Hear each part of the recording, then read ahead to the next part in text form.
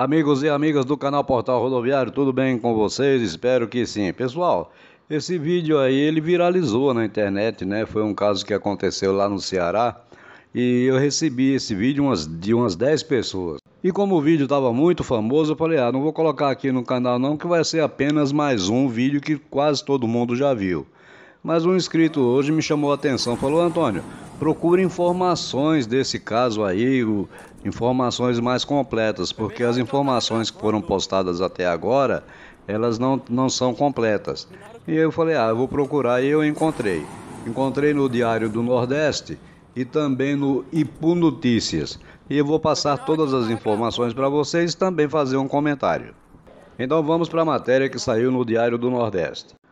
O título da matéria é o seguinte: caminhão tomba com madeira e lateral desliza por metros na rodovia CE 060. O motorista de um caminhão perdeu o controle do veículo em uma curva e tombou na tarde da última quarta-feira, dia 7, na rodovia CE 060, sentido Mombaça a Copiara, a 354 quilômetros de Fortaleza.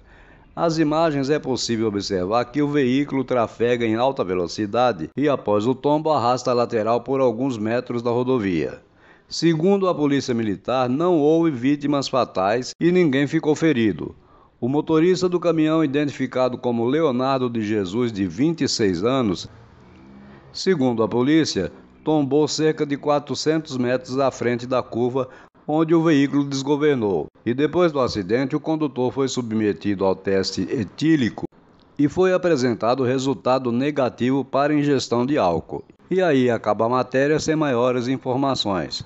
Mas eu procurando mais um pouquinho, achei uma outra matéria em que diz que o caminhoneiro ele teve ferimentos leves, né? então quase nada.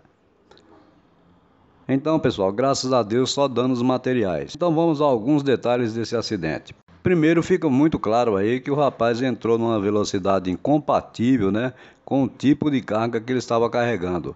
Uma carga alta, né, sem lastro, né, mesmo o peso está embaixo, está em cima, e também excesso de velocidade nesse trecho, né, mesmo não sendo mostrado aí o disco de tacógrafo, eu creio que ele estava acima da velocidade máxima permitida para o trecho. E uma outra coisa que me chamou a atenção nessa carga é porque que enlonou uma carga de eucalipto, né? Geralmente essas cargas vêm Geralmente se carrega essa carga aí desenlonada com cinta, cabo de aço, tudo direitinho, né? Até para efeito de fiscalização.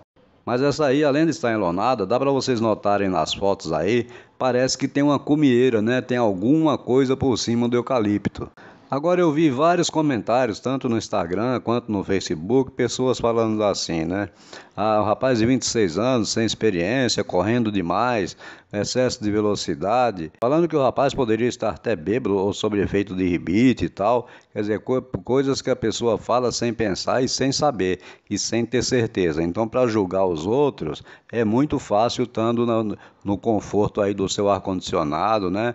Atrás de um computador é fácil julgar. Veja bem, não estou defendendo o excesso de velocidade, a forma não cautelosa que ele entrou na curva, eu apenas não julgo porque porque às vezes um minuto de bobeira que a pessoa dá, acontece um acidente grave, acontece um acidente que vem a levar pessoas até a óbito. E outro detalhe da matéria aí em si. Algumas toras dessas madeiras atingiram carros que estavam parados lá, mas danos materiais, coisa pouca. E não é só gente nova que comete irresponsabilidade, não. Na internet aí, no Facebook, no Instagram, aqui no YouTube, tá cheio de velho fazendo merda. E quando não fazem a merda, ainda ficam fazendo gracinhas para aparecer. Esses dias eu vi um vídeo, né? E eu comecei a ver o vídeo sem som. Aí tinha um senhor de idade já dirigindo um caminhão, né? É, todo atravessado, meio de lado assim, eu pensei, meu Deus do céu, o cara tá tendo uma convulsão. Não era não, ele tava brincando, né? Ah, aqui ninguém me pega, bota, bota para derreter e tal. Mas de verdade eu pensei que ele tava tendo uma convulsão, um espasmos, alguma coisa assim. Tá bom, pessoal? Vou ficando por aqui, desejando a todos e todas aí um ótimo feriado, né? Vamos com muita responsabilidade dirigir tanto na cidade quanto nas estradas, né? Atenção ao trânsito, atenção aos limites de velocidade, use sempre cinto de segurança. Um forte abraço a todos, fiquem com Deus e até a próxima.